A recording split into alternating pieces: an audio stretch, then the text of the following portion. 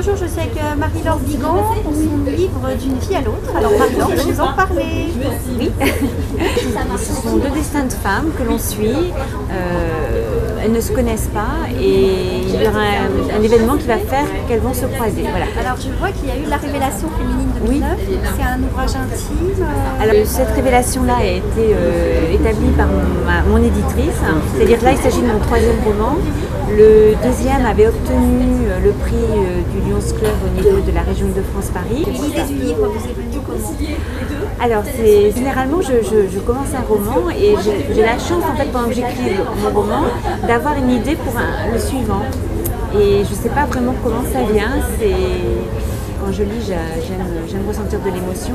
Et c'est vrai que c'est quelque chose que j'essaye de faire passer euh, dans mes livres. J'espère que je- que j'y arrive. Voilà. Alors on ne peut pas beaucoup dévoiler le, mystère, Non, mais est-ce qu'on peut en dire quand même un petit peu plus sur ce livre C'est vrai que je me sers beaucoup des endroits où je suis moi-même allée. Alors c'est vrai que maintenant il y a Internet et quand euh, il y a un lieu qu'on ne connaît pas, on peut avoir des renseignements. Mais autant que possible, je me sers euh, des lieux que je connais.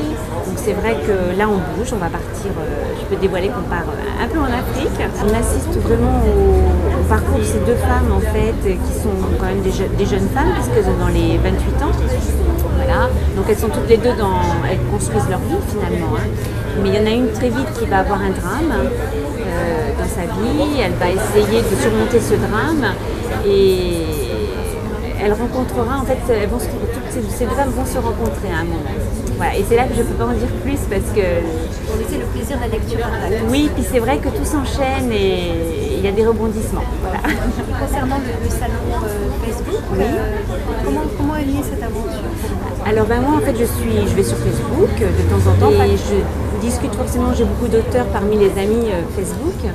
J'ai vu en fait tout simplement un jour qu'il y avait un salon Facebook 1 et en fait je me suis vraiment inscrite au dernier moment. Voilà, qu'il y avait les places étaient limitées et puis voilà, donc du coup je ne savais pas du tout ce que c'était et je le découvre et je suis contente parce qu'il y a beaucoup de personnes avec lesquelles je, je discute et que je, ben, je mets un visage sur des, des photos, sur des, sur des, sur des- des échanges en fait. Voilà. Donc, euh, En tout cas, merci pour votre participation. c'est moi qui vous remercie.